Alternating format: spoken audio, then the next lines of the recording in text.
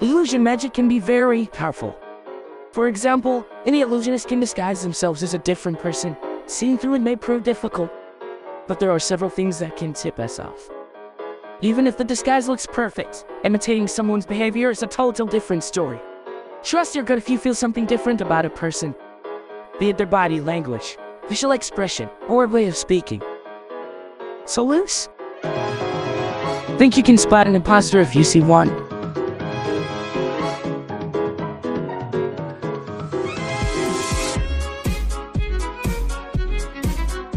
Very nice. Told you she wouldn't fall for it. Why?